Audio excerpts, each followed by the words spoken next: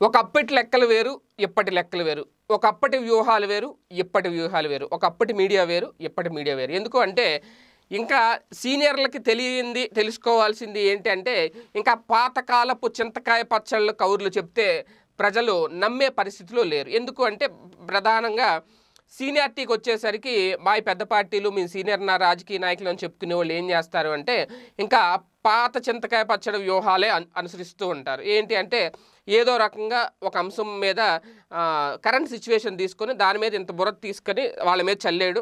వాళ్ళ ఆ బురద ఇలా కడుపుకొని తుడుచుకొని పక్కన పెట్టుకునే లోపు మళ్ళీ ఇంకో ఇంత బురద పట్టుకొని రెడీగా ఉండో మళ్ళీ చల్లేడు. ఇదంతా ఒకప్పుడు జరిగేది. ఎందుకు అంటే ఆ బురద చల్లడం మీన్స్ ఏంటి అంటే ఏదైనా ఒక అంశం తీసుకున్నప్పుడు ఫర్ ఎగ్జాంపుల్ ఇంగ్లీష్ మీడియం విద్య. దాని మీద ఇంగ్లీష్ మీడియం వద్ద తెలుగు చచ్చిపోద్దని తెలుగు మర్చిపోతారని ఇదంతా ఒక బురద చల్లేయడం దాని మీద పత్రికల్లో పెద్దగా భారీగా కథనాలు రావడం అదంతా ప్రజలు చదువుకొని ప్రజల్లో ఒక నెగిటివ్ ప్రచారం స్టార్ట్ అవ్వడం. ఈ లోపల అధికార పక్షం దానికి ఖండనిచ్చుకునే లోపు ఎంతో కొంత ఒక ఇరవై శాతం పది శాతం పదిహేను శాతం వాళ్ళకు అనుగుణంగా ప్రజలు మైండ్ సెట్ మార్చే ప్రయత్నాలు సక్సెస్ అవ్వడం జరిగాయి. అయితే ఇదంతా ఒకప్పుడు మాట. ఎందుకు అంటే అప్పుడు పత్రికలు టీవీ ఛానళ్ళు ప్రధాన పత్రికల్లో అప్పుడు సర్క్యులేషను మహా అయితే ఒక యాభై లక్షలు అరవై లక్షలు అలా ఉండేది. కానీ ఇప్పుడు ఇది కంప్లీట్గా సోషల్ మీడియా తరం. ఇప్పుడు ఇదంతా సోషల్ మీడియా తరం.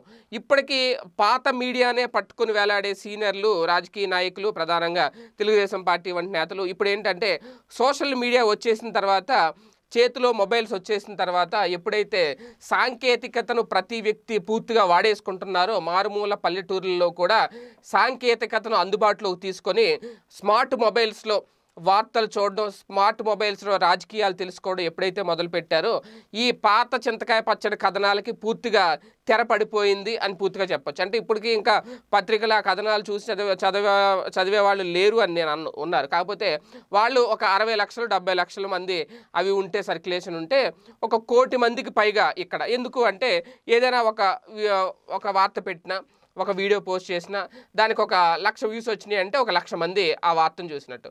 ఒక వన్ మిలియన్ వ్యూస్ వచ్చినాయి అంటే ఒక పది లక్షల మంది దాన్ని చూసినట్టు. అంటే ఇక్కడే అంటే ఒక్క దానికే అలా అంటే ఇమీడియట్గా అది కూడా ఏదో రోజులో తర పడి పట్టదు. ఒక గంట రెండు గంటల్లో ఒక రోజులో ఇరవై నాలుగు గంటల్లో ఏడెనిమిది గంటల్లో అది అంతమందికి చేరువైపోతుంది.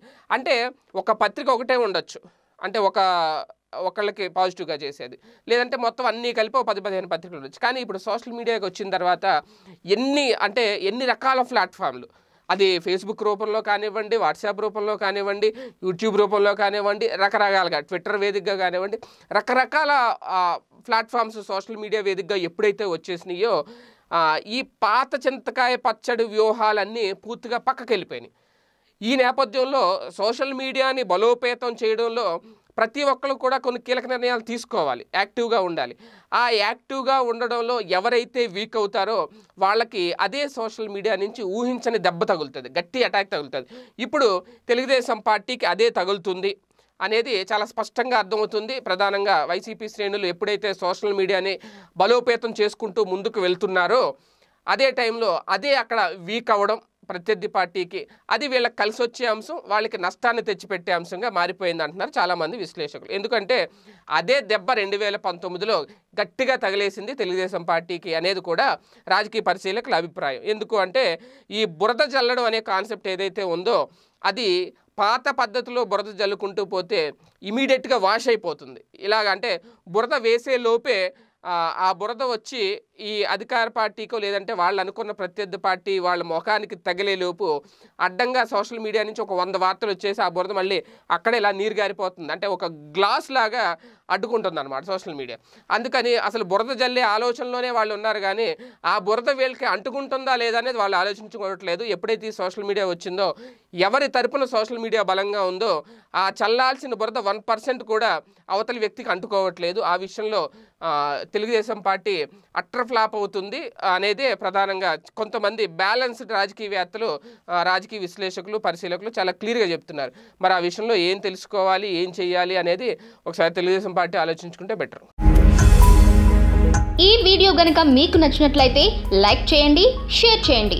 మరిన్ని వీడియోస్ కోసం మా ఛానల్ను సబ్స్క్రైబ్ చేయండి.